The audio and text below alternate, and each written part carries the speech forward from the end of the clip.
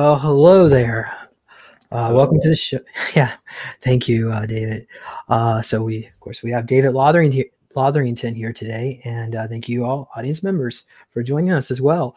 Um, so, in case you noticed, I did a little upgrading on my uh, intro video, so uh, you can go enjoy that. But um, thank you, audience members. Nancy, thank you. it's great seeing you again and everybody else. Okay. Okay. So let's go into our uh, featured guest. David Lotherington is a Akashic record, uh, record reader, healer, and telepath. He is also a Melchizedek high priest that can channel communications with non terrestrial beings, ascended masters, angels, galactics, and God. David has recall of his past lives, including Sun Tzu, Marcus Aurelius, Robert the Bruce, Achilles, Sigurd the Snake in the Eye, Lancelot du Lac, Little John de Artag- Artagian, D'Artagnan. No, I tried. King David and Ma- Ma- Mopsus of the Argonauts. He currently resides in Nova Scotia. Uh, so um, he's also been on our show a couple of times, and the last time we went into some of this content, but uh, I don't know if we're going to really have time to well, we'll see. But he has been involved with programs his entire life, beginning at least the age of four years old and up. He recalls being trained at Area 51, where he met Peter the Insider. He also remembers being a facility that trained his shape shifting abilities, in which I was also a participant of. Turned me into a giant cat. He recalls experiences as a super soldier in Kruger and has done training missions with zombie and vampires. Uh, today we'll be conducting, well, I say a lecture, but we'll, maybe we'll make it a little bit more informal sounding. the big uh, yeah, we'll a thinking session on how to integrate soul shard aspects in order to heal, to heal or help SSP, MILAB, MK Ultra, Monarch, ET, etc. experiencers recover their memories. So, David's website is davidlotherington.com and his school is thoel.com, T H O E L.ca. Okay. Uh, thank you, David. How are you? Thank you for the intro. It sounds awesome.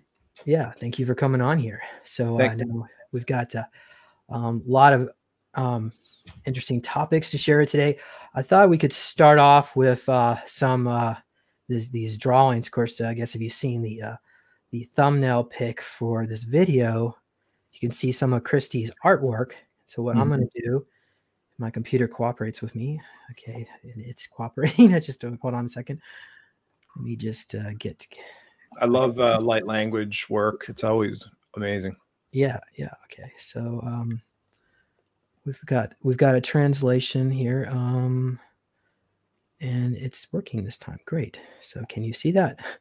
Yes. All right. So um, Christy uh, drew this, and this is uh, David's on the left, and there's me on the right um, as Arcturians and mm-hmm. I guess past life, or I think it might have been a future life. I don't know. Um, They're all occurring in the now anyway. So, yeah, um, I was an Arcturian scientist um, at some point, but um, I'm before we actually read the translation. Um, what I'm going to do is, if I can figure out which button press, I think this these were the words here that got translated, mm-hmm. and um, I'll read that in just a bit let's see here. Oh, there's you. Okay.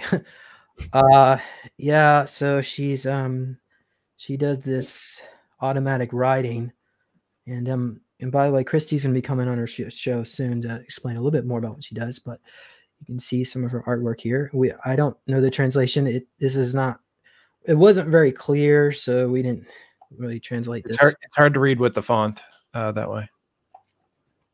But um David, why don't you explain uh, how how to translate these uh, these words? What what do you do when you? Well, I can read light codes and light language. Um, I can't actually explain how I can do it, but I can do it. Um, it's this font is stylized, which makes it more difficult, but it depends on. Um, so essentially, everything that you write down, every email that you've ever written, your energy is in the message that you send to a person. So if you write an email for to someone and you um, you're very vengeful to that person, they might feel like a resistance in themselves. Their ears might get warm or something while they're reading the message. that's the energy that's behind the message. And it's the same thing when you're reading light codes or light language. Um, you just read the energy behind it and you can connect to the translation of it. It doesn't matter what language it's written in. Okay, great. So let me go ahead here and read the translation. Oh, oh, there. Okay. Can you see it now? Okay. Yep. All right. Uh, breaking sharing knowledge, breaking apostrophe sharing knowledge over breakfast is akin to dining with the gods. Line one. Sharing knowledge with friends brings meaning to life and expansion of thought. Line two. Remembering friends with each other. Line three. Uh, so that's those are the three lines above. Um, I think this is for the different uh, picture, though. Oh yeah, well, it's this one here. Yes, this one. Yeah. Okay. So we've got the left side says the name of the being on the left and a little bit about them, and they are balanced and centered. So that's David. And the right is uh, me, uh, focused and determined. Um, so the writing between the names, uh, where it says brothers, means uh, brought together through friendship. The symbol below the infinite symbol, meaning prosperity. The symbol at the top with the infinite symbol. Okay, so there you have it. That's all we got. anyway. All right. So, um, I guess is there any other comments you want to have about that, or before we move on? Well, well, regarding light language, uh, I have a picture over here. I don't really want to take it off my wall, but um, perhaps you might be able to see. Oh shoot, it's not the best setup. Um, I'll take it down. Just give me one moment. All right. So um, while David's doing that, I uh, just want to remind audience members if you have any questions for David, or I guess for me, but uh, mostly hopefully for David. Um, just go ahead and put it in the uh, the chat bar there, and um, we'll get to it when the time is appropriate. Or oh, we got a, a cat man. so this is a Lyran. Uh, I can't remember the name of the artist off the top of my head, unfortunately. But as you can see, there's lots of light language written all over the the feline. See if you can get a better view of it. Mm-hmm. I did mm-hmm. not draw this. Um, and it's essentially telling a story.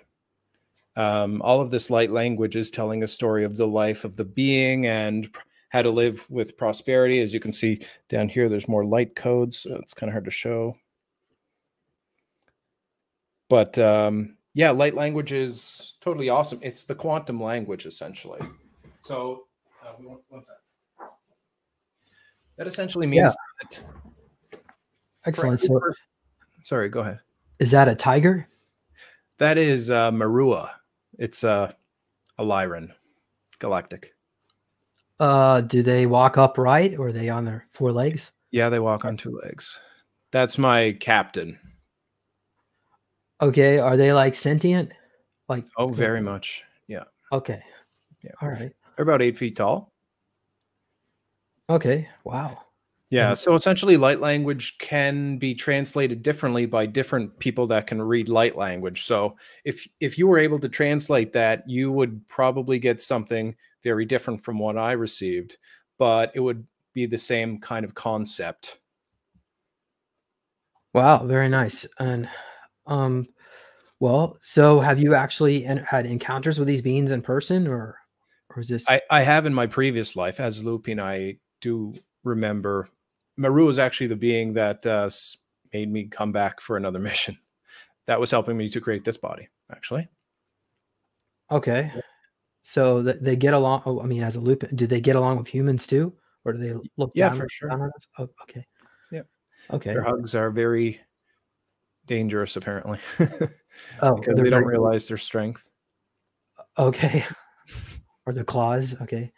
Yeah, more of the strength. Um, Okay, well, here's a question from audience. Uh, Facebook user wants to know what about his uh, percentage of his ET race genetics. Um, do you know what what what kind of genetics you might be?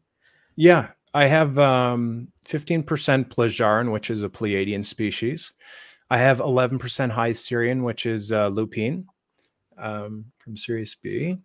And then I have um, 6% Pterosaurian, which is a reptilian species, the, the native species of uh, Terra. And then I have 4% Yahyel. They're like um, a gray human hybrid. And I have 1% Arcturian. Excellent. All right. So this was from back in 2019, uh, David um, did uh, looked up my genetics and he said I'm 11% Saurian reptilian. Um, look like the reptile guy in Spider-Man. So I, I don't really know if I would look like that, but um, slit eyes, greenish eyes, uh, 6% Pleiadian with my blue eyes, 4% Yahyel. Actually, I got four, four Yahyel hybrid kids. One of them is Nikolai um, because um, I, I worked with Nikola Tesla another timeline. Hmm. Um, Yahyels are an offshoot of the Greys. They are also calculative. They have no empathy, not very emotional, but no, they they definitely have empathy and they definitely are emotional. Um. Okay. Okay. Well, they, they certainly were telling me some pretty good jokes. So anyway, um, three percent Arcturian, two percent Lyran, and then you said I was like 23 other species of other stuff. So. Well, all humans are composed. The natural, what is known as human, is 23 plus different species. That's just naturalized human DNA. Okay, great. Yes, that's the artist, Nalini Dior Sara. Thank you. All right, thank you for sharing it. Okay. Um, so people are asking, how can we also get our DNA breakdown of you from you? How do we do that? Uh, if you want to book a session with me, uh, I can do it for you on a private basis. But um, I I just can see people's DNA codes. They're Adam Kadmon. They're original DNA blueprint. Essentially, that's what I just see. So. A great question from Thomas. Um, are you in contact with your alters? Thomas wants to know if you have any female alters. what, do you, um, think about that one? I've integrated my alters. There's still some left. But so contact, yes, but they're a part of me now. But that's what we're going to talk about today. We're going to try to reintegrate your alters. You can have communication with them for a period of time until they fully reintegrate with you. And then you become a collective consciousness eventually when they uh, reintegrate with you. All right.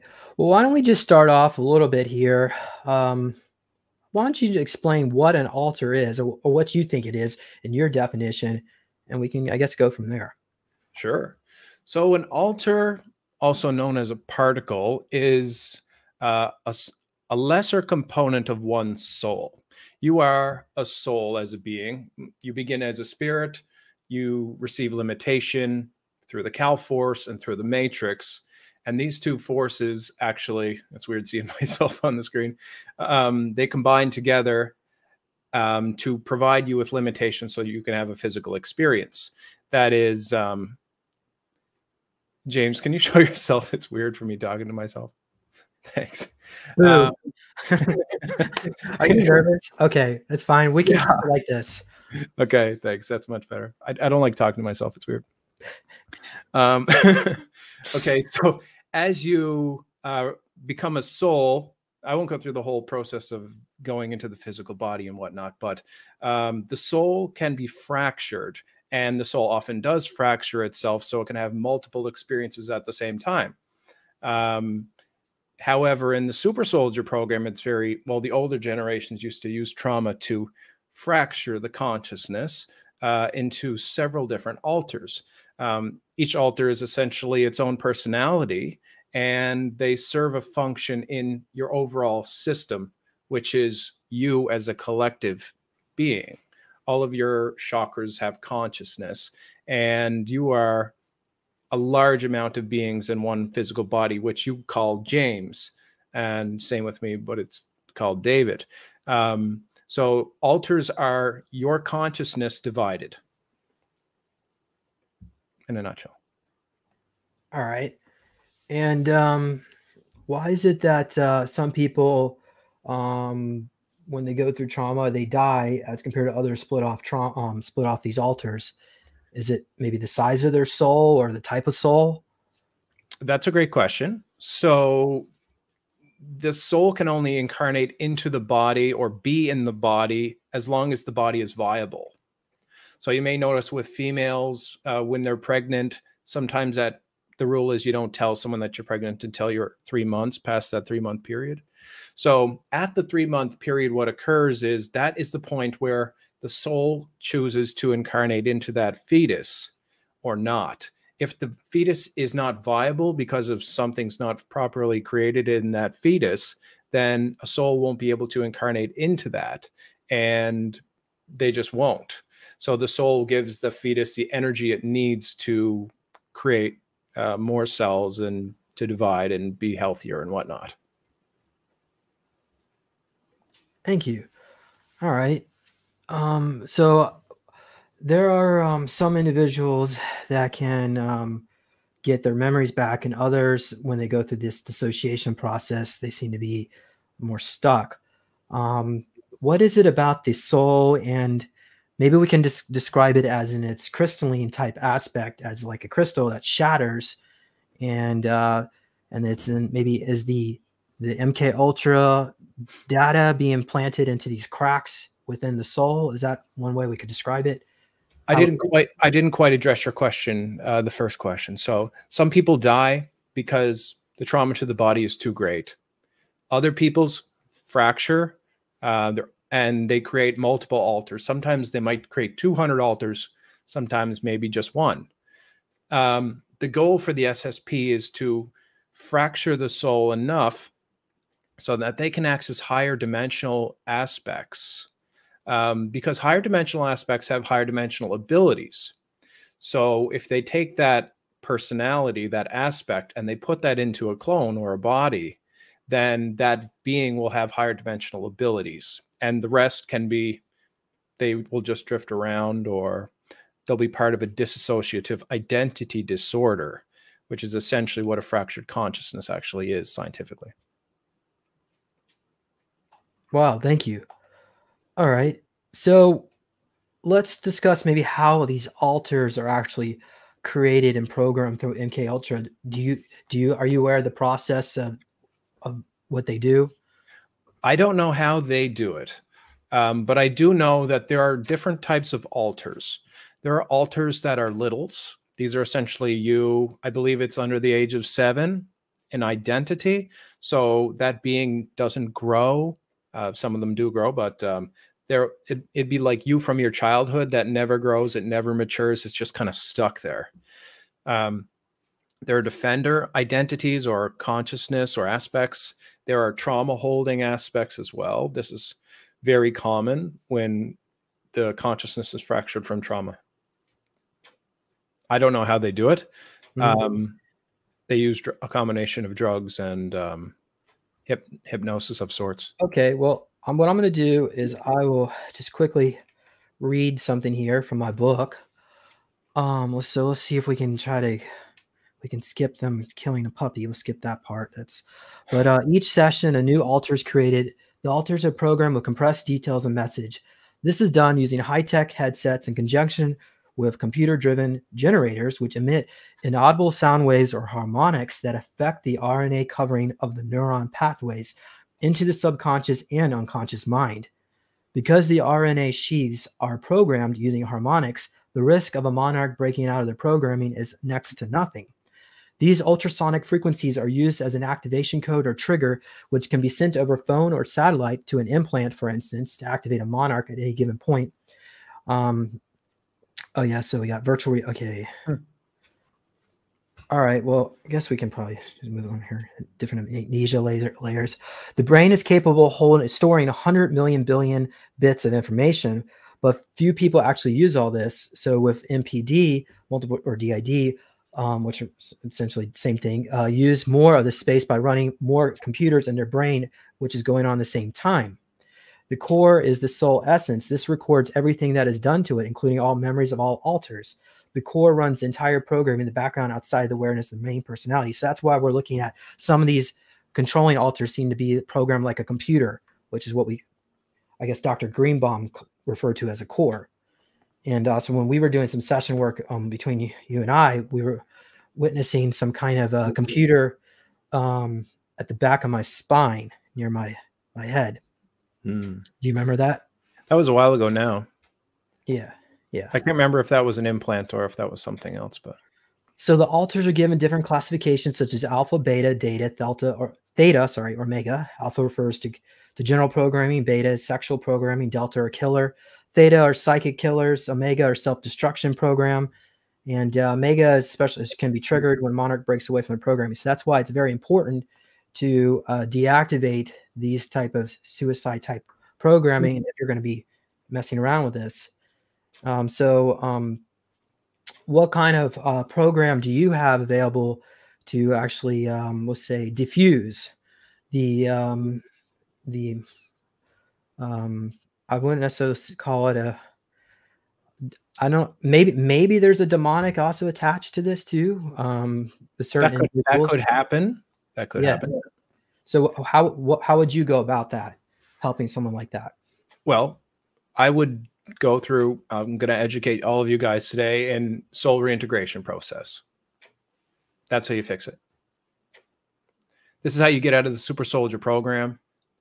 This is how you become complete. This is how you get your memories back. This is how you get become more psychic, more powerful, and this is how you heal yourself all at the same time. Excellent. Excellent. Okay. Um well, let's see here. I, let me just quickly go through this. Um anything here that's relevant. Of course, they the core uses different types of uh, the deepest parts are the core, the gems. I don't know what that is. Executive committee, false trinity, etc. Chartered in esoteric language such as Enochian, Hebrew, which is considered magical as well as Druid. So, uh, yeah, that's why I guess we're talking about black magic and certain demonics attached to these as well. But um, the first program, yes, the first program needs to be is Omega. Um, once that's diffused, then you can go into what is what you would call the executive control board. And um, but the thing is, a lot of these these people have also been implanted with femtonites, pictonites, nanites, and that is also, um, I believe, attached props to their pineal gland and affecting their ability to open up a portal to God's source in order to to integrate themselves. So yeah, these people won't your people won't have to worry about this because what we're going to be doing essentially is we're going to be taking the souls from their broken they're not broken but out of the clone bodies and we're going to be bringing them back to us where they belong okay well is this is it like a meditation this practice well, or sort of yes it's going to okay. take a period of time for people to to do this. It's not going to happen today. I'm going to give you guys all the information that you need to know to do it, but you're going to have to do this on your own time. It's a process that takes years, sometimes even longer for people. Okay, well, where do we begin? Okay. So, first we start by knowing you're a soul. Okay. You're an infinite being that gave yourself limitation and that limitation allows you to experience a physical reality in 3D. Now, for those of you who are in the Super Soldier program, your consciousness is probably fractured, which means you have alters, which means they're running missions. They're not all super people. Some of them are super soldier accountants, super soldier laborers, etc. But still, your soul is in that body performing a function. And that means that wherever your consciousness is, that's where your memories will be. So, if you're not quantumly entangled to that individual, then you're not going to have access to those memories. But whenever you, for example, James, have access to any memories from your super soldier lives, that's because you're quantumly entangled to that being in that moment. And the only reason why you can remember that is because your consciousness is in that body. So, for example, when you drink alcohol uh, and you black out, your consciousness can't handle, your body can't handle having too much alcohol in it. So, your consciousness will actually go to the background, kind of like when you're channeling, and your system is unviable. So, any being that's around can jump in and drive the container. That's uh, it's essentially possession.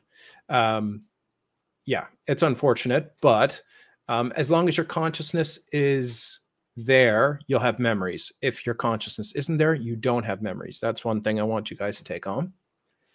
Um, so, where do we begin? you have all of these little pieces of yourself that are on other planets, they're in galactic bodies, they're in the inner earth, the hollow earth, you name it, they're everywhere. and they might even be in other human bodies like one soul can be in multiple bodies at the same time. And as you reintegrate this together what happens is you don't have to worry about killing them. I know that's going to be on some people's minds. So when you remove the soul from a being do you kill it. This is quantum so what this means is essentially you you pull the soul out of that body and you bring it back to yourself and you reintegrate that that becomes a part of you again which makes you feel more complete. But that being that you took the soul from which is yours lives its entire life to its completion. And to that being when it dies its soul goes back to you. So this is why this is all quantum. Um, so that's a part that's difficult to understand in the beginnings but okay so I have to give you guys some warnings because if you do too much of this too quickly, it can cause you to hear the voices of your alters. And this will make you think that you're crazy potentially. This is multiple personality disorder. This is what's occurring with them. There's different alters that are existing in the same aura, and they each want to take, take a turn driving. So that is actually what DID is, or multiple personality disorder. They're the same condition, but DID is more acceptable, I suppose.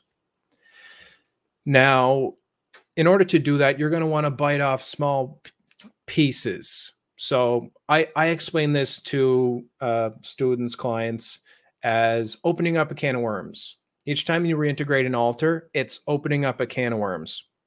If you open that can, and you leave it there without addressing it properly and treating it uh, with respect, then the worms are all going to crawl out. There's going to be worms all over your table and crawling on the floor. It's going to be a big mess.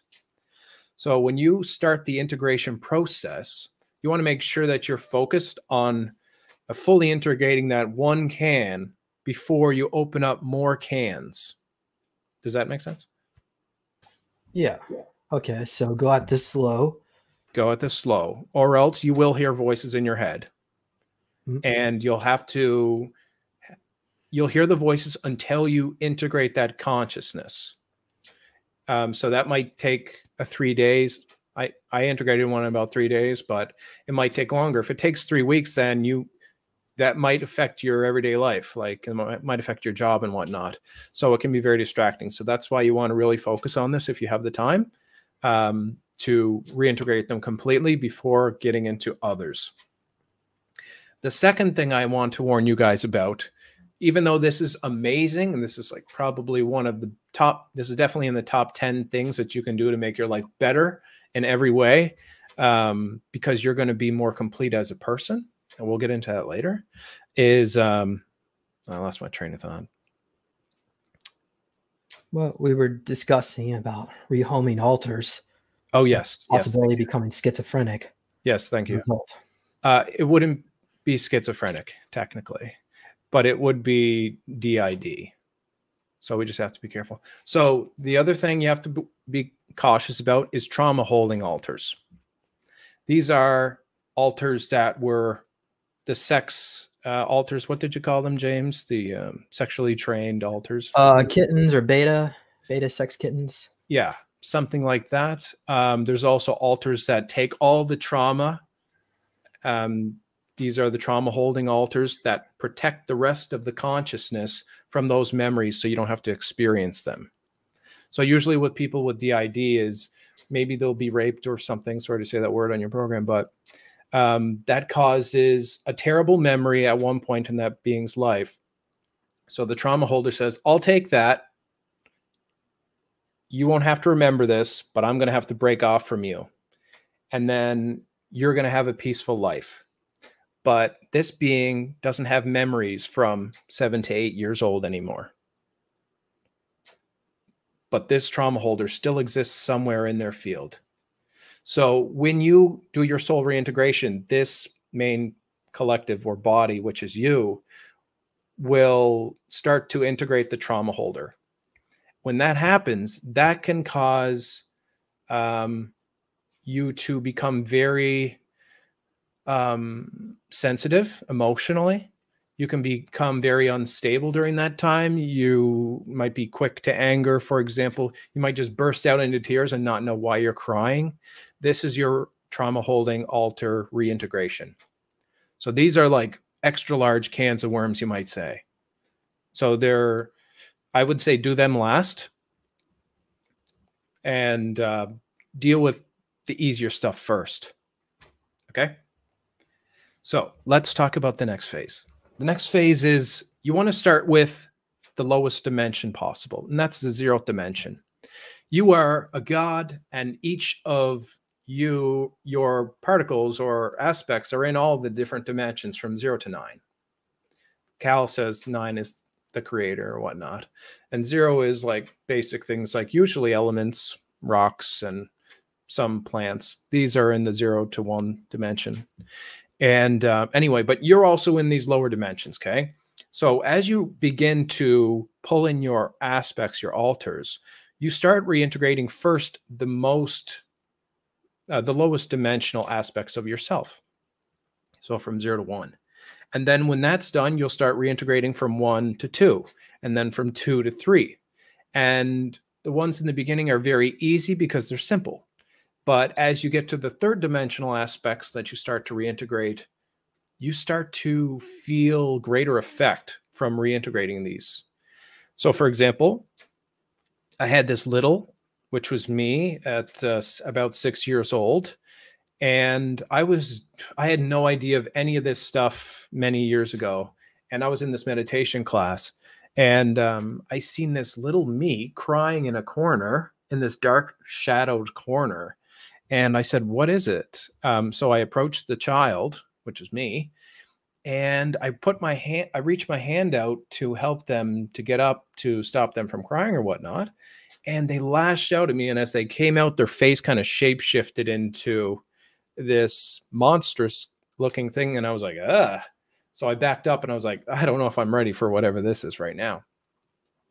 So the next day I went back at it. I meditated again and my intention was to ask Archangel Michael to assist me with helping this little of myself. And essentially, what happened was Archangel Michael walked up to the little boy uh, with me and he placed his hand on my hand. And then we essentially just said, It's okay. You're not going to be hurt anymore. And it's safe. You're safe. So I, at that moment, I started to hear the little David in my consciousness. It sounds like telepathic conversation. You it's almost like there's two voices instead of just one that you normally will have. And um, what happened was for about three days, that little was in my field. And I had cravings for very odd things.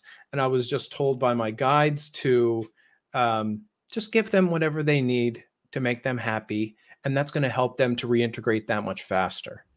So I wanted to talk to strangers and just, I'm normally very reclusive as a person. I don't really talk to that many strangers, um, but I was very outgoing and I wanted to talk to these people I knew nothing about.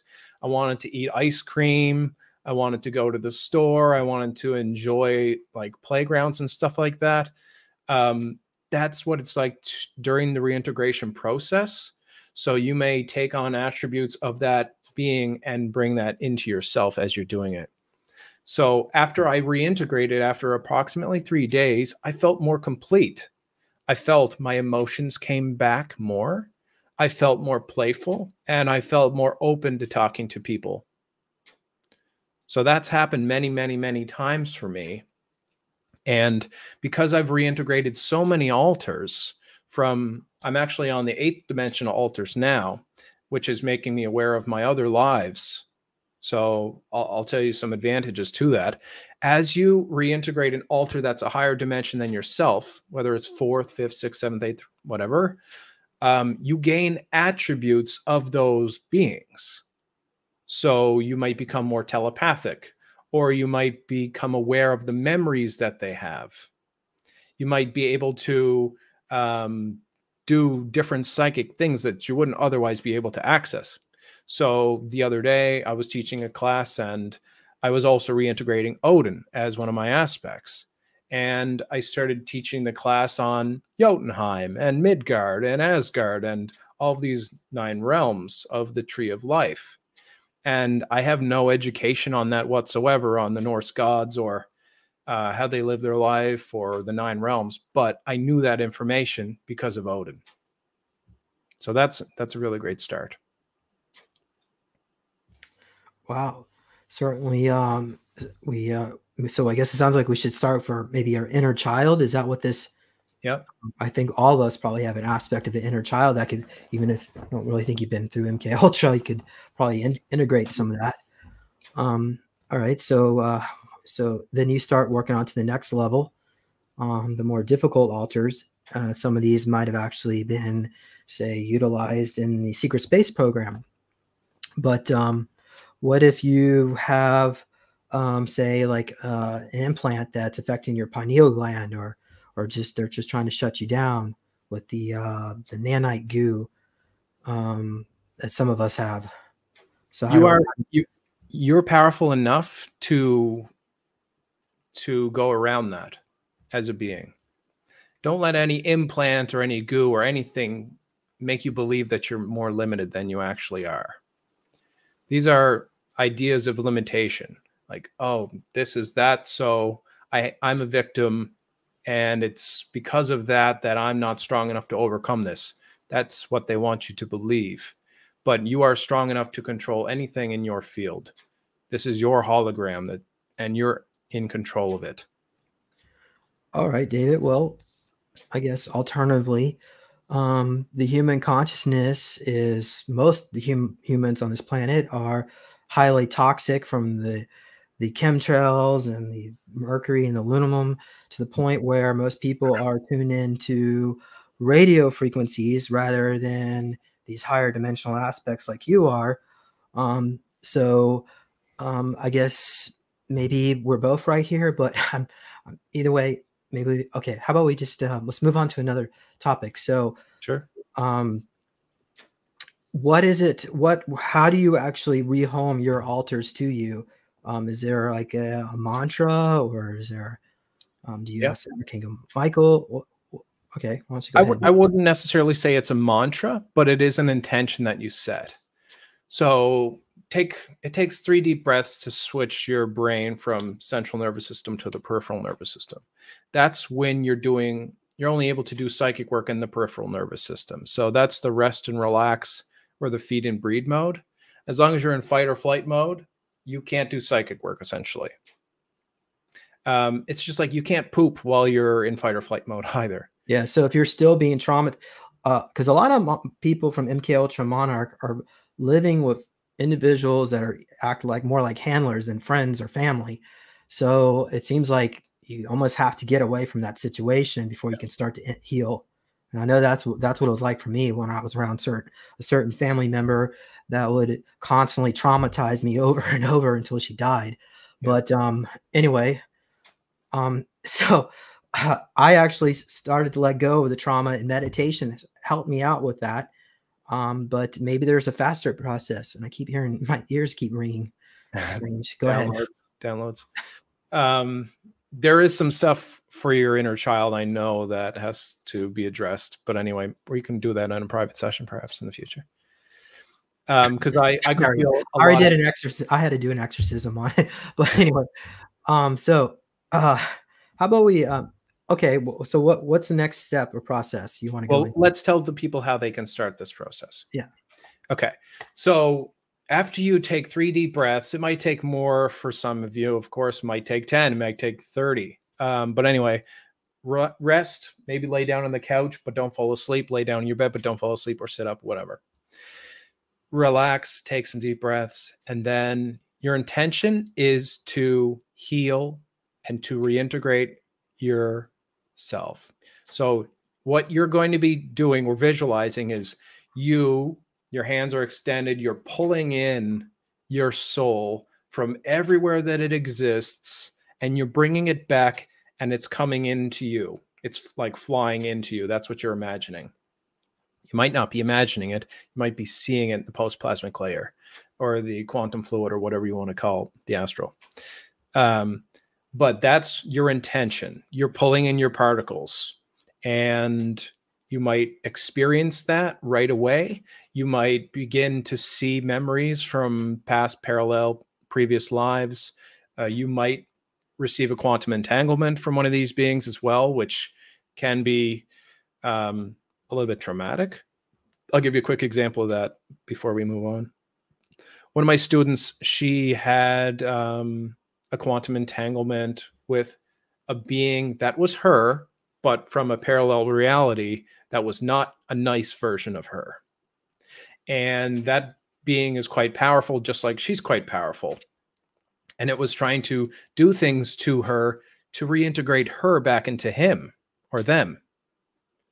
So that kind of stuff can happen during the soul reintegration process. If that happens, book a session, you know, we'll work through it together kind of thing. Um, but that's not going to happen to everybody, I don't think. And if that does happen, then you have to understand that you're just as powerful as them and you're the boss. You're doing the soul reintegration. And so you're going to win. So. All right, great. Okay, so um um so we've got the different alters are coming back together and um the rehoming process and then as you find out the more work you do um there could be thousands and thousands of alters um yeah depending on how how much they used you how fragmented you are mm-hmm. but um is there any other any other steps or tips in the process do you invoke any entities or light a candle or no. Okay. You don't need any of that stuff. But um, I would recommend that each of you program your guides. So if you're not aware, you all have guides. Your guides are your guardians, they're your protectors, but most of them just go um, MIA because they're not in use. They, they're not needed, they're not acknowledged.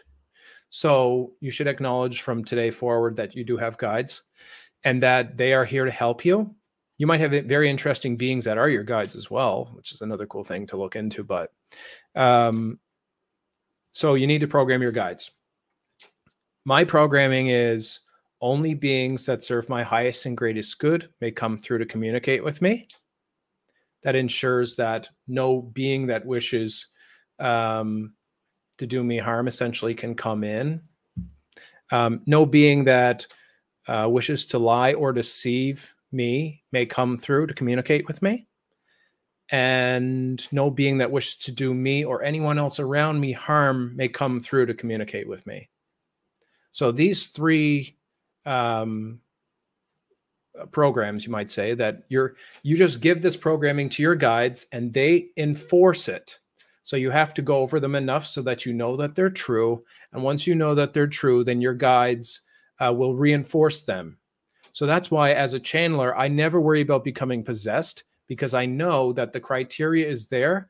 And in order to get past that, they have to meet my criteria to come in. Well, typically, you also have to be a really negative person anyway to begin with. For those not necessarily if you're an open channel. So if you're an open channel, like I receive channel information all the time, it just kind of comes through me as David. Uh, I don't even need to channel Cal for that to happen and whatnot. But the only difference in channeling and possession is permission. Wow. Okay. All right. So I guess we've we've covered this question pretty much the negative aspects of soul integration. Yes. Okay. So just go by that slow. Um, Do it slow. All right. Um, well, are there any other any other steps in this process you want to go into, or anything else we need to cover? I think that's the lion's share of it. If you have any specific questions, you can just send me an email and I can address that. Yeah, we can. Um, what about um, are there any beings that are coming in that want to share a message about this? I'm sure Cal has something to say about it. Uh, we never spoke about that before class, whatnot, but uh, it's mm-hmm. possible. Okay. Uh, is there any questions from the audience that we have? Maybe, maybe we'll do a few questions from the audience, and then if you um, feel up to it, we'll bring Cal in. But and yeah, sure. talk about your schooling. And um, uh, why don't you go ahead and do that now while, while I go ahead and look up some questions. So tell us about what is this the school thing that you set up? So it's actually going to be a, a church, not a religion, but a church. I found out, the House of El is a collective. El is a part of God. So El was God is, you know, the God or whatever, prime source, you might say. And it divided itself just like every soul does. They divide themselves just like these alters that we are creating essentially. And so God created El, and El created the divine realm. And so, and they created the Melchizedek priests and the ascended masters. And so that's what El is responsible for. So El is essentially a part of God. But anyway, the school is taught by um, myself, but I channel the ascended masters in order to get the information which the people in the school can ask questions to. So we have beings like Saint Germain. We have, um, yeah, our website isn't actually full complete, but uh, it's under works. Um, we have the Merlin. We have uh, Mary Magdalene. We have Jesus. We have Lord Commander Ashtar. Um, so we have a lot of uh, the main teacher. There's also dragons that teach the classes. Uh, we learn a lot about alchemy and magic in the school. So this is the um, the training program to get in. So it's three months. I teach you one on one everything you need to know. We pull out all the entities. We pull out your implants. Uh, we get you all healed energetically. We'll clear out your chakras so you can manifest properly. And then we help you by teaching you how to protect your field, kind of something similar to Randy Cramer's protocols, I do believe even though I don't know much about his program, but um, teach you how to communicate with your guides, uh, teach you how to program your guides, teach you how to use the pendulum and whatnot. There's a lot of information there if you guys are interested in that. So great. So when it when is that going to open up? That starts March 1st. Okay. We do three semesters in a year. Yeah. All right. So people, if you're interested in uh, learning more, go to go to uh, davidlotherington.com and uh, click on apply now to sign up. So that'll be Yep. Or you can just send me an email, tell me you're interested in the program. Just tell me a bit about yourself in the email and we'll just talk. All right. So let's go to some questions. Um Oh yes, you want me to channel Cal? Well, yeah, what hold, hold on. Hold on. Just not yet. Uh let's see here. Um so Karen was asking about Area 51. I, I think we've already discussed that, right? Yeah, we did. Um, I seen Peter in the um, meal hall. Yeah, meal hall, and there was lines on the floor that you can't walk across unless you're a certain um, rank or something. You have to stay in your color. Yeah, and they they they really do enforce that. um, okay, uh, people are asking about the future of Canada. Um, I would say it's positive. What what do you think? Well, Cal looks into the future all the time, and uh, there's some stuff we're not allowed to talk about, unfortunately. But the next 13 months are going to not be great. Um, not necessarily just in Canada, but in the world in general, because um, apparently there's a build-up point to approximately 13 month, and the 13 month is like uh, the bottom of a slope so it's going to get increasingly worse for 13 months. So Cal actually recommends, I don't want to create panic for anybody, but um, every time you go to the grocery store, just buy eight extra cans of food. And then whatever you normally would get anyway. You might get one bag of rice, or you might get, um, I don't know, a pack, several packages of noodles instead. But just start building up your food reserves just in case. And worst case scenario, you save money because of inflation. Is it is it going to be like a slow, gradual, or is it going to be a total implosion? Like one day, it's like that's it. It's an ec- economic collapse situation. Do you have a date when when things will really get obvious? It should be obvious now that it's already happening. If you look at the stock market, the S&P 500, for example, that is America itself. If that goes downwards, then America's failing. So that is a very strong indicator. And you can look at the price of gold as well. Hmm. All right. Well, let's, I mean, that that's a really fascinating topic, but let's just try to stay a little bit more on topic what we got here. Um, I guess Karen. Oh, here comes another uh, from Karen again. Uh, First Nations. Um, have you have any interactions with natives? I have. Mhm. Um, I did a little bit of work with Danny Paul. He is a ceremonial pipe holder, and we were going over the directions. We were going over some sacred medicines. I learned about tobacco and sage and um, many medicines, but I didn't spend too much time with him. Only um, several tea sessions, you might say. All right. Okay, let's move on here. Um, so Facebook user is asking, do you use crystals? I do on occasion. Uh, I used to use a lot of crystals back in the day, um, but I've kind of transitioned out of crystals because you don't actually need crystals. You can do everything by changing your own frequency. Um, but crystals are helpful in the beginning if you don't know what a certain frequency feels like. Great. All right. Uh, so they want to know more about the Dogman. Uh, We we've already done. We've already just did a whole video about it. So go back and go back in the archives and listen to that. If, unless you want to comment quickly. Uh, not too much. They don't really get along that well with the Sirians, and um, they're more bestial, wild Sirians. Um, they're more warlike as well. So How come people are seeing? They're from Syria, um, so the planet in the Sirius system. they're from the Canis Empire, technically. so so what are they doing? uh, Why are people seeing them in the woods here on planet Earth? they love it here for some reason. So d- so they take a spaceship to get here. Yes, they. So the Dogman are very primitive, just like the Lupine. They they're more tribal. They don't have technology of spacecraft and stuff, but they might steal a ship and get through that way. What about portals? That's possible too, but less likely Okay. because there's quite a few on the planet. Okay. Okay. All right. Um, so let's move on here. Uh, somebody's asking, where did where do you think God came from? Who who created God? I think God probably created itself somehow. Yeah. Um, at the beginning there was source, and the source was the totality of all that was or is, and then from source got um source got bored and created God, and then God splintered off splintered off and created all of us. So Well, I think prime source is the is God, at least by my definition of the word. And it's consciousness. God is creation. God is experience. God is truth.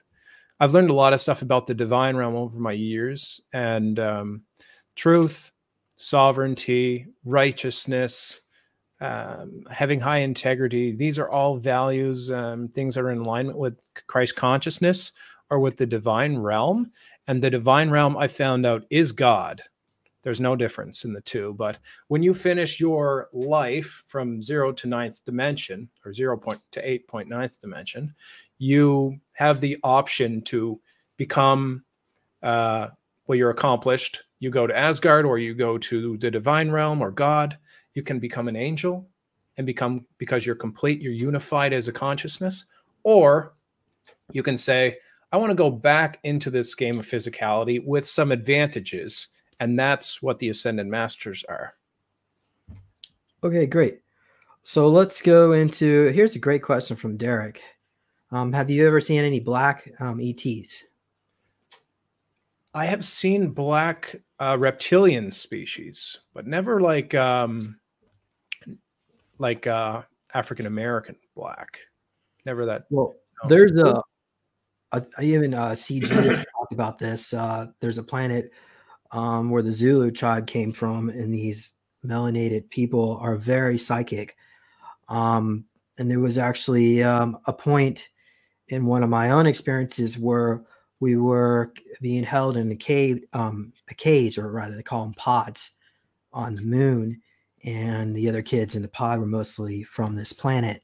But um, we were all being trained to be super soldiers and the ones that weren't um, making the cut would be sent to the uh, drug that rhymes with a popular google browser. So um, yeah so it's definitely there are out there and um, we uh, certainly need their help to help um, clean up this planet they would be a great resource I know I know about 40 different species, maybe a bit more of galactics, and I don't know of any black personally. Well, what about um, Wakanda? I'm not gonna say this right. Wakanda. Wak- Wak- am I saying it right? Like Wakanda. in Africa? Yeah. Well, when human genetics mixed together, I mentioned previously that there were made of 23 plus different species. Um, I think depending on the genetic composition of what you have more galactic of, it's not a perfect mixture of all the species. Asians have more Arcturian, um, Russians have more reptilian. Like it depends where you're from. Um, but the black melanistic gene would have occurred from one species or another. I just don't know which one. All right. Okay, so we've got here. I don't know why sh- why you're talking about China. Let's move on. Okay, is Minnesota? I think the weather is always going to be changing. Um, how about we go into? Can David talk about the pole shift, solar flares? Hmm. I I always like to be prepared for everything. Maybe not everything. Things that are most practical in my local area. Um, I don't have any fear of about pole shift. I don't worry about it. If it happens, it happens. I have extra food. I live on a mountain. I have pigs and chickens. I live on a homestead. I'm not worried about that. Um, and I have swords and guns and whatnot, so I'm safe. But uh, solar flares is something you shouldn't concern yourself with either. Uh, solar flares happen all of the time, and solar flares emit certain amounts of radiation. So they're hitting all the time. You should know. It's not one solar flare is going to come and wipe out everything that we've ever created technologically. Um, so you should erase that fear from your mind. Um, solar flares, Cal says, have to do with radiation, and that can bring change to our collective um, because it can enhance evolution or it will create mutations essentially. And these mutations have a, a chance to create new genetic variants, which would give you advantage, but it, it's equally as possible to create negative um, attributes from your genes as well. Right. And I so want to talk about something that we're not allowed to talk about, but uh, yeah, uh, the, the, people that that took this are going to become a new progenitor gray race. Ah, and um, and in the future, I think you said 1200 years in the future, it'll become obvious. That's what this whole agenda was, It was to create a, a split in our species. And that, that uh, the people that took it become a mutant, mut, a mutant type of humanoid that um, I guess become, um, I guess the rest of the humanity kind of is racist towards them because they, the rest of us, the humanity doesn't think they should exist. I would love to talk about this, but I don't want this channel to be removed or whatnot. Well, we're, we're actually on the backup channel, but the backup actually has a strike too. So we'll, will you um you just have to just use your imagination and we'll move on. I'd have to go really slow with the V word. okay. Um what do you think about this? The QFS? Hmm. That's a great question for Cal. He can see the future, what's going to happen. Um, but me, I don't know. Okay, well we could save it for Cal if you if you want. Yeah. Um. Well, let's quickly go through. Uh, let's see. Uh,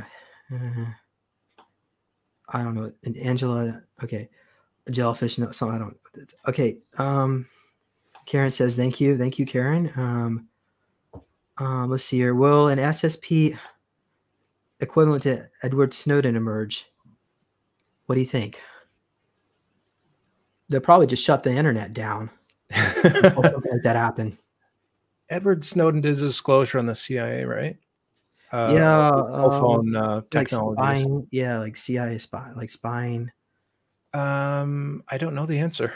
I can see into the future, but it's like throwing a flare into the future. I don't see everything between the flare and myself, and uh, I don't see what's after the flare either. So there's a lot okay. of future coming. We'll, we'll say this for for uh, Cal, Cal as well. Yeah.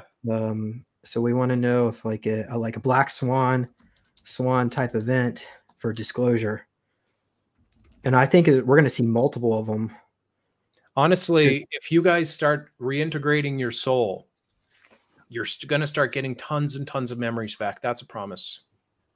And if it happens slowly, that's okay too. Um, you're going to get memories back. Maybe you'll be that person to do the disclosure in the future. Who knows? Right. When the reason why they're going to want to do multiple Black Swan events is to wake people up because one of them is going to wake some people up and other people are not going to pay attention, but he keep doing them over and over and over again. it's going to become obvious to people there's something seriously wrong on this planet. Mm. Oh, Christy wants to know what you think about the drawing. Oh, that's Christy. Yes. Cool. I can kind of I can connect her energy from her picture. That's cool.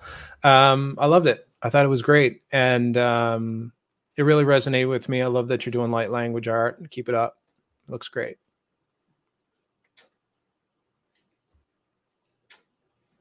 Celestial med.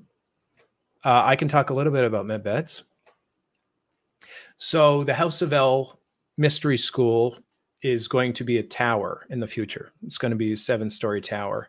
Um, I have a strong connection with Ashtar Command and the Galactic Federation of Light, and they have been talk. I've been talking to Ashtar Sheran about this, and essentially what I can say is that med beds are going to be deployed in the school in the House of El Mystery School to help people, but initially they're going to be only activated a certain percentage. Um, and the only people that will be allowed to use them are people that have certain percentage of galactic genetics.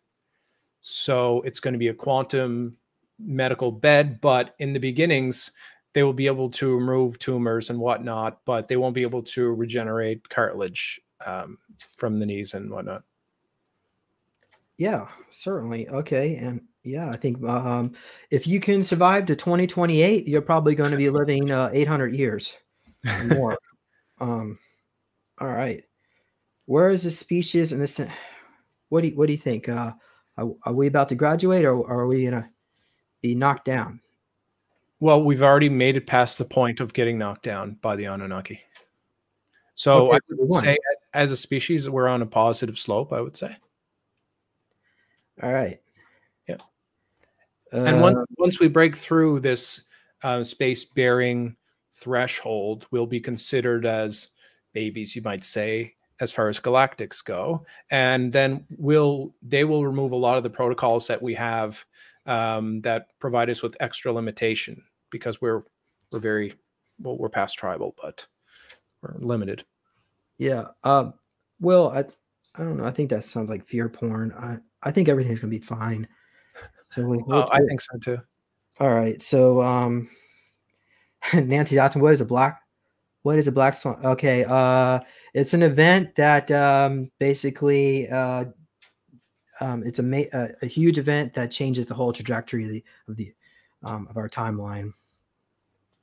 Uh, all right. Well, there's still gosh, some more people. I didn't actually get a chance to read Will's question, but uh, oh, which one? The black swan? No, the one before that. Will's question. Will Hub. Oh for that the Trojan horse. Sorry, one sec. Is the MedBed tech and age regression tech that will be first introduced? Trojan horse? No, I don't think so. I don't think so. Will Nancy? uh, I just want to add one thing, um, James. So the technologies are going to be only given to the most conscious of beings. That's how galactics operate. And they're not going to give these to normal uh, medical facilities. It's going to be only held probably in monasteries or like true spiritual, I would say probably monk temples, um, like the House of El Mystery School, the places where the most conscious people on the planet exist. This is where the med beds will be sent and not anywhere else in the beginning. And that's going to make a lot of people jealous, but yep. I guess it is what it is. Yep. So, um, what what do you think about Enki? He's an Anunnaki. Um, you think he's our savior? No, I don't. Um, I don't think that you should connect energetically to the name Enki or El Enlil or Marduk or any of the other um, Anunnaki. Um, I don't think all Anunnaki are bad. I've had a couple lives as Anunnaki myself. I have tons of memories with them as well. Um, I just know how they are and they love control, they love power, they love, and they're so much smarter than you. You can so easily be manipulated by them. Uh, it's just better to avoid them in general if you can. Sounds like a good idea. All right. Um, okay. somebody's asking about Ishmael. All right, so let's go ahead. Um, hold on a second. We, Francie, thank you very much. Blessings to you. So, shall we go ahead and uh, start up with Cal here? We've got at least three good questions. Okay. QFS, yeah, QFS, uh, any kind of black swan events in the future, med beds, and anybody else you want to ask Cal some questions, go ahead and throw it in there. So I'll just tell everybody what Cal is essentially. Cal is a 7.7 dimensional Bisu consciousness. So we have linear consciousness, quantum consciousness, and after that is Bisu consciousness. Quantum is two processes at the same time, up to an infinite amount of processes, and Bisu is the next step after that. So Cal can go into someone's life. They can see all their timelines. They can see all their parallel realities in all dimensions at the same time and look at that complete life in just one moment of time and then zip out and answer a question for you. So that's Cal. Cal is the Cal force, which is something that affects all living organisms and beings. Um, you, it's in Will, it's in Francine, it's in everybody in everyone here. And it provides you with limitations so you can have this experience of life. So, and, oh, and also holds your soul to your body. It's the silver cord that you see while you're astral traveling. That's Cal. Anyway. Great. Thank you. Yeah. So I just want to say essentially what channeling is. So what's going to happen is I'm going to uh, channel Cal. So I'm going to train my frequency to Cal. As I entrain, our, our frequencies harmonize and then they coalesce. Once they coalesce, Cal becomes me, I become Cal there's still a little bit of David in the background, but our chakras align and then I'm able to channel. So that's that's essentially all channeling is. All right. Okay, go ahead. Okay. It's going to take me a moment. Three deep breaths, remember?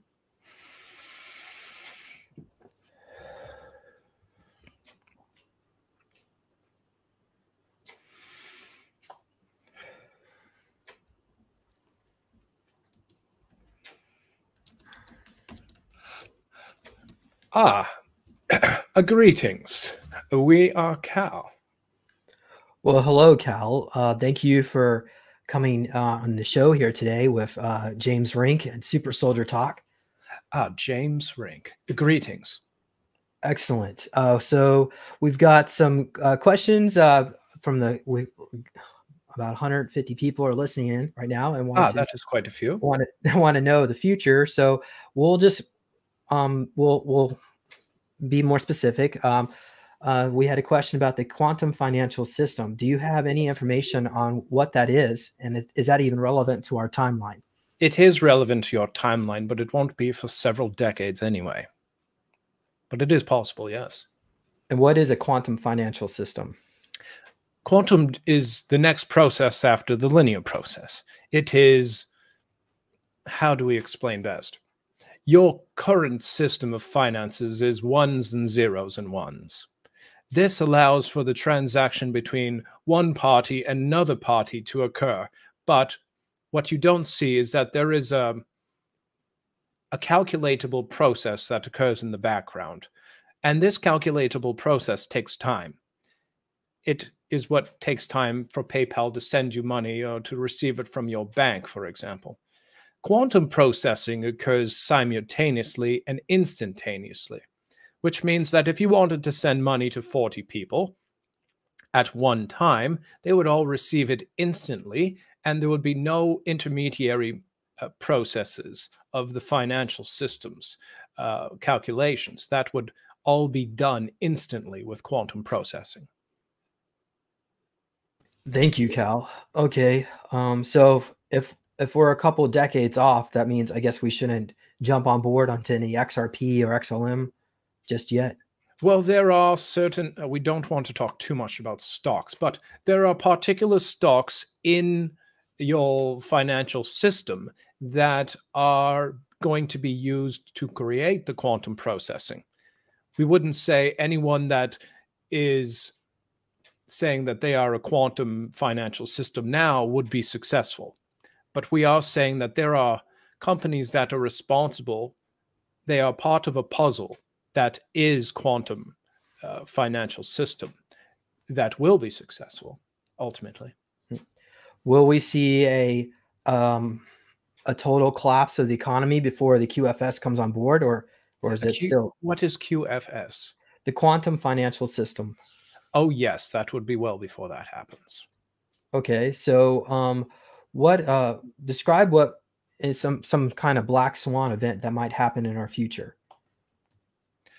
Black Swan event. There is thousands of these that will happen. It can be something as simple as Martin Luther King having a speech, for example. It could be all of you reintegrating your consciousness at one moment. It could be something as similar, simple as a person of importance doing disclosure on a particular field of interest that involves secret information, such as the disclosure of non-terrestrial craft on the planet. All right.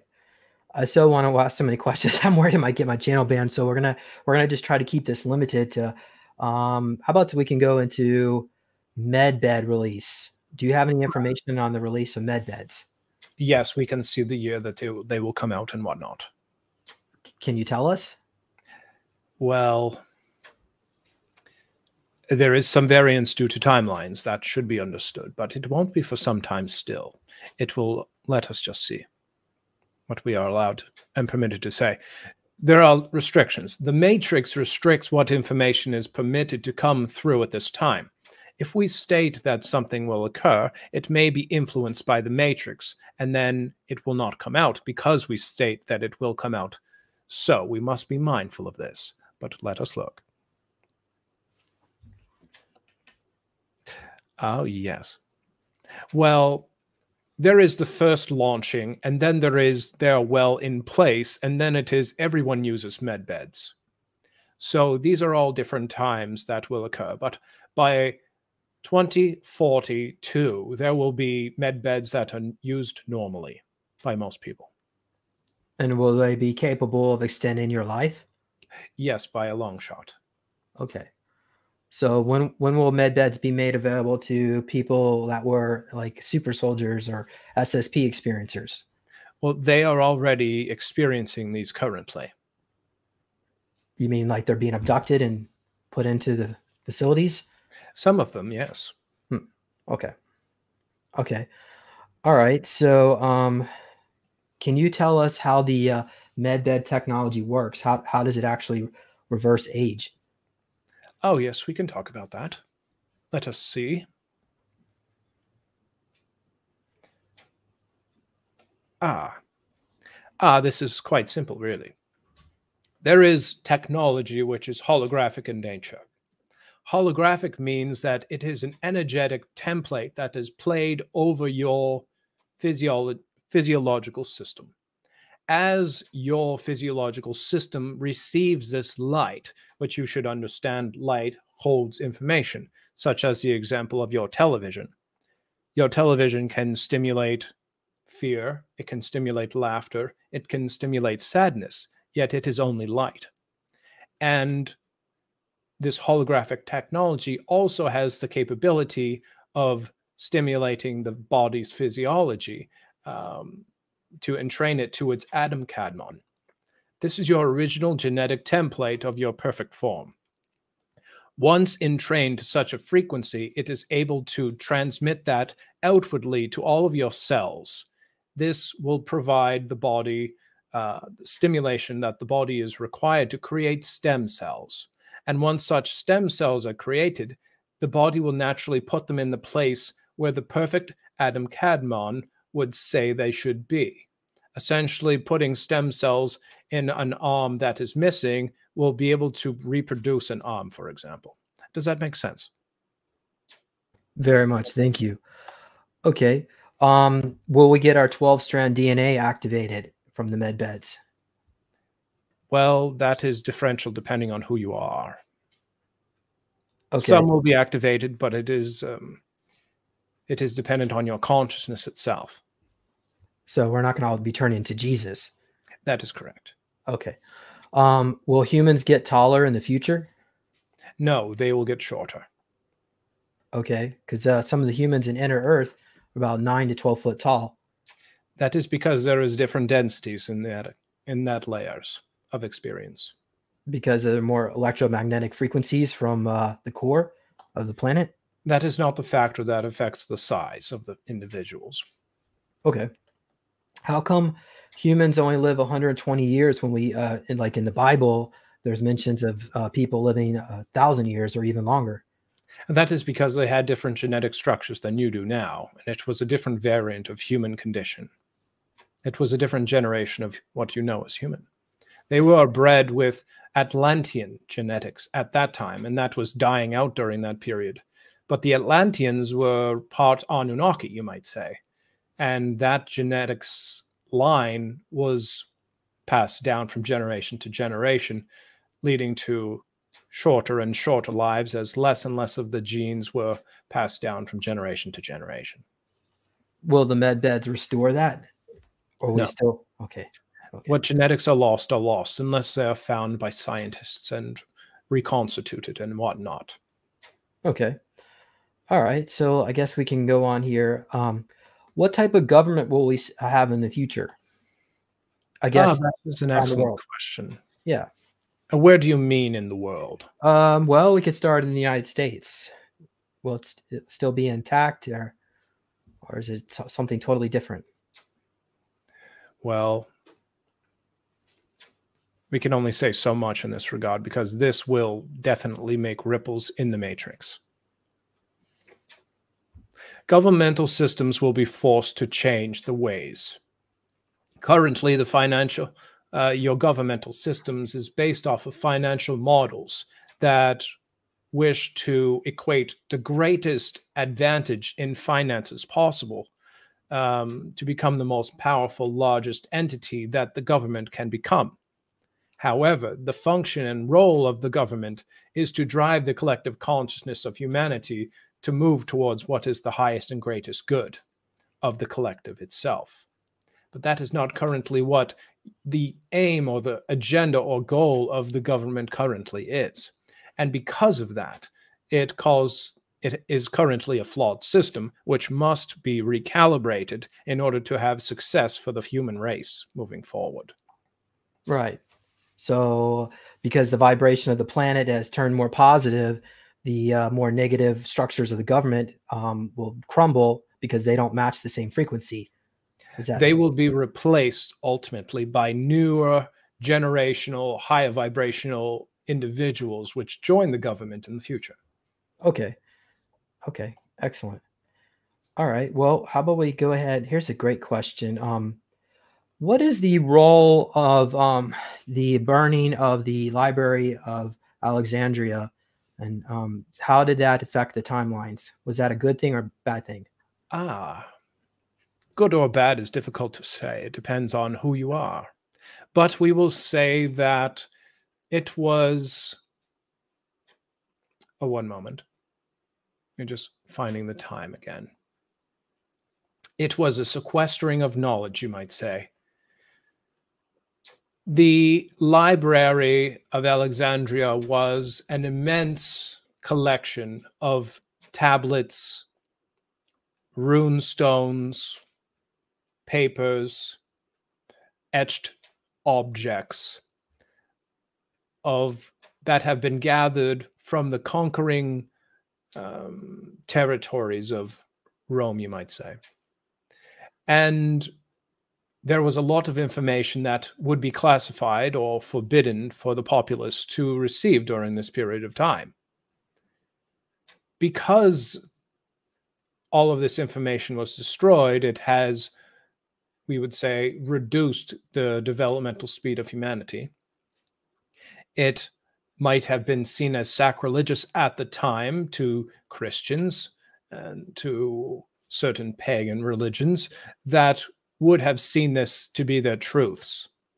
However, uh, that would not have seen this to be their truths, rather. And because of that, it caused a great stir in the collective uh, of the region, you might say, of India, of uh, even reaching upwards to Russia, but many other areas in the vicinity of the library, you might say. It is a vast region which the library expands its knowledge base from. And that is what we would say in that regard. Do you think in the future we'll have access to chronovisor technology and we can recover these documents that were burned? Well, that is a technology that will use time in order to go back into time to see things that once existed, yes? Yes. It is possible, but that will not be for a long time for humans. Okay. And certainly, what about the Vatican? Do they have a backup of all the documents and yeah, all? There's a large private collection of copied documentation of the Library of Alexander. What, uh, Cal? What do, what can you tell us about the Vatican Library and, and why why doesn't the Vatican open that, that up to the public? What's in there that they're afraid of? It is likely disclosure documentation and proof and evidence from relics to geographic locations of sites of old creation, you might say, perhaps the ancient Egyptians or perhaps Lemurians or Atlanteans and whatnot. Uh, these are likely hidden for good reason so that they can remain in power. And if they disclose that galactics do exist and there was other generations of humans before them that is released into the population, then they will lose their power. And that is the last thing that they want to do. Right. Does the Vatican have documents that show where all the vortexes and portals are to enter Earth? Not likely, no, but they will have access to certain entry points to inner Earth, but what not about, related to the portals. Okay. And is that what the conquistadors were looking for? Was not really uh, gold necessarily, but maybe inner earth technology? Yes, that was a part of their journey. Right. So, um, does the, uh, um, okay, a question about Oak Island. Um, is the, uh, what can you tell us about the gold there or the, the vault on Oak Island? Uh, the vault. Well, there is no gold there currently only what is naturally existing in the earth. Is it in like another dimension or portal? Well, that has also been excavated. Okay. Okay. All right. But it is a wonderful dream for many people. All right. Okay. Uh, so let's see here. Um, will there be a reset on this planet? A great reset. Uh, what do you mean by that? Like um i guess in the time um see here um see here klaus schwab wants to uh, reset the economy. That's i guess the negative timeline. So colin no that is not the negative timeline. That will occur in this timeline. So there will be a, a reset. A financial reset. Yeah but but it's going to be positive in the end. Ultimately yes. The result of it will be positive but what will occur as a downfall to the american financial system will not be positive for many people who are experiencing poverty during this time. Understood. Okay. Um, so what is Cal's advice for us humans? How um, what can we do to survive the uh, changes in the future?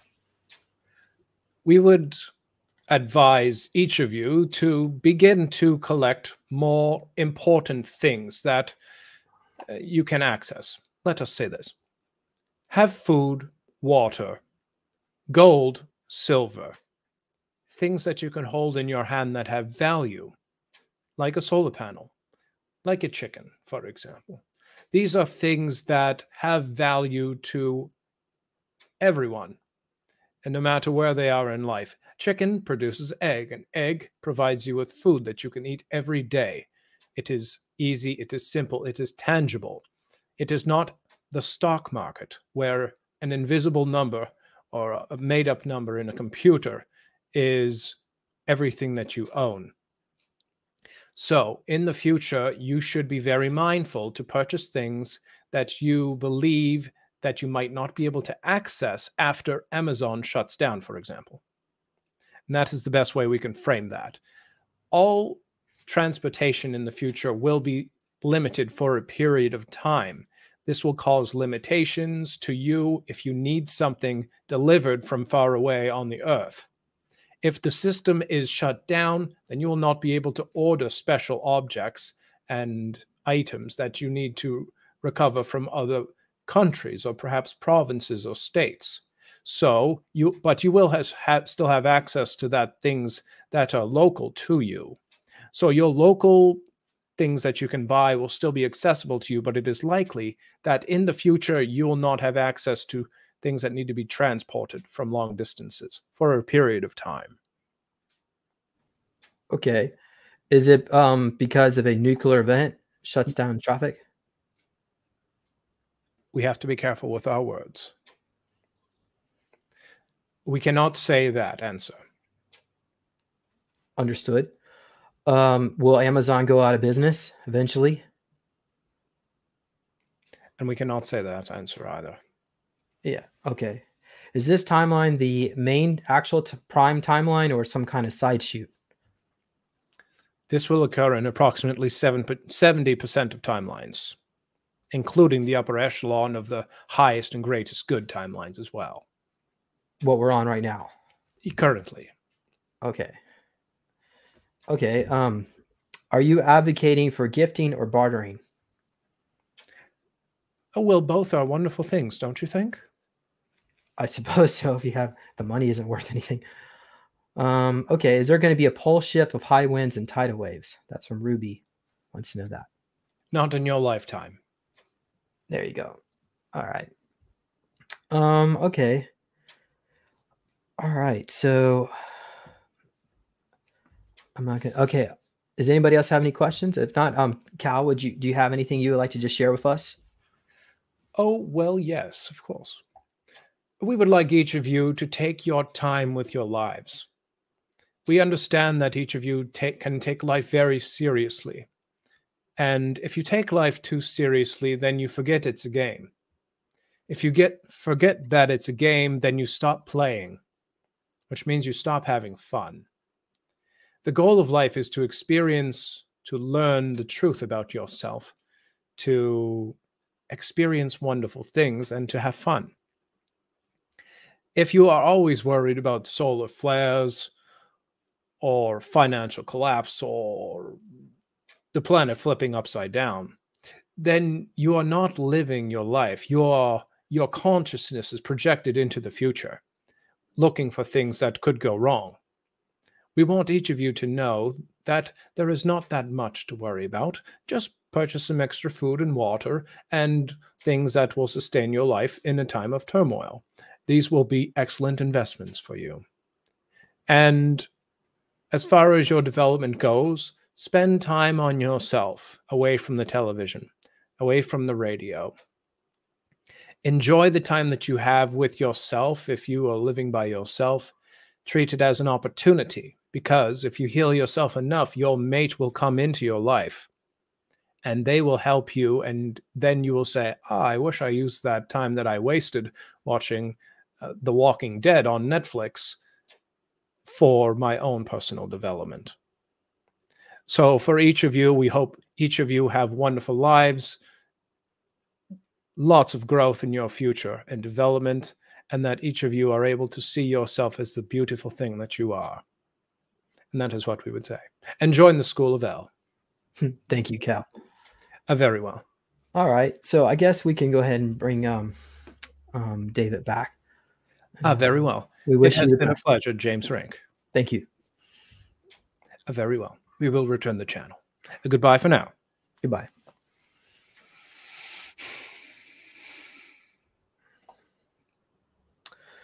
Well, Karen, uh, you should have you should have asked that question I, when I when I asked for more questions. Okay, right. Uh, so um, welcome back, David. Oh, thank you.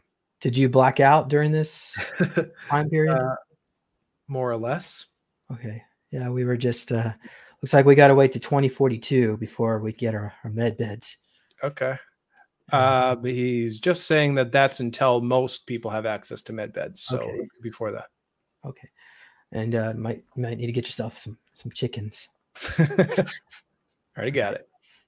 off grid, free range. Have you noticed the price of um, well here in the United States, uh, um, organic eggs, free range are uh, ten dollars a dozen now. Wow, that's crazy. Uh, yeah, so it's getting me. Yeah, the price. I I just um, spent uh, five hundred dollars last week on food. Um, but anyhow, and I I live alone, so okay. Um, Nancy's asking. Uh, I can answer that. Uh, Uh, I don't want to answer that. I'm, I'm going to get in trouble. Okay, so how long the term last? Looks like you said about Oh a yes. couple decades. It almost seems like the next Are 20 you years. talking about the financial system? Yeah, I guess everything until things It will take a few years to come back to um, a healthy state.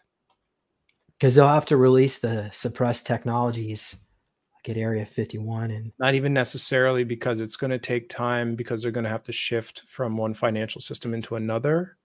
And the best systems are the ones that have already been proven to work, is what all I can say about that. Okay. All right. All right. So uh, someone was asking about Jeff Bezos. Um, the guy was a hitman for um, uh, let's see the company. I'm gonna have to look this up. He worked for was here Shaw House.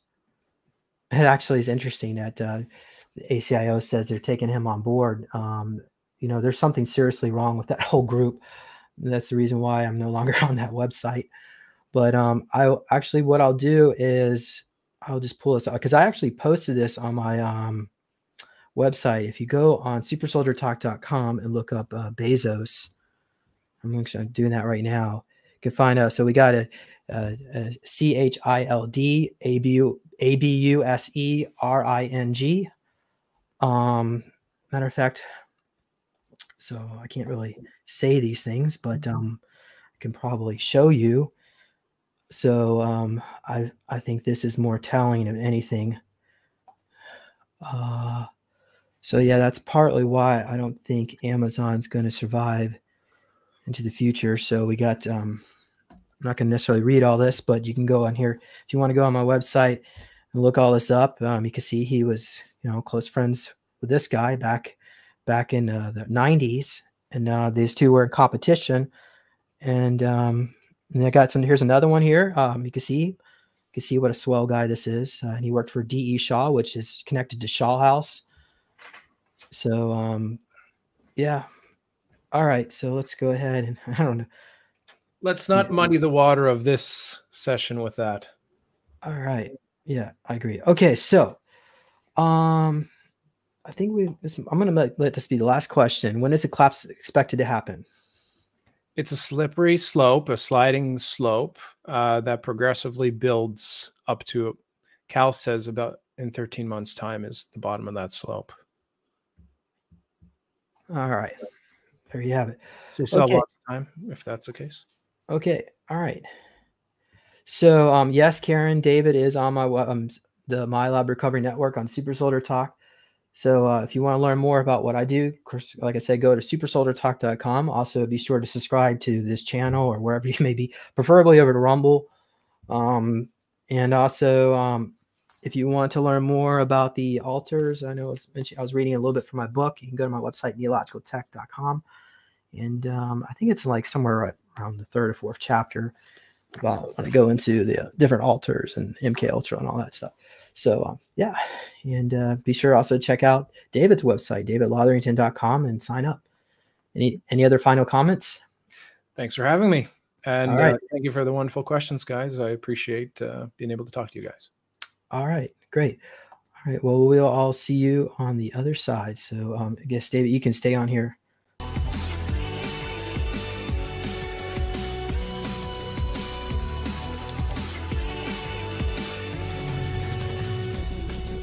Please consider supporting Super Soldier Talk by purchasing your own Neo Meditation device. Your Neo Meditation device will help you reduce stress, integrate trauma, enhance intuition, enhance clairvoyance, and enhance creativity. Get yours now at www.neologicaltech.com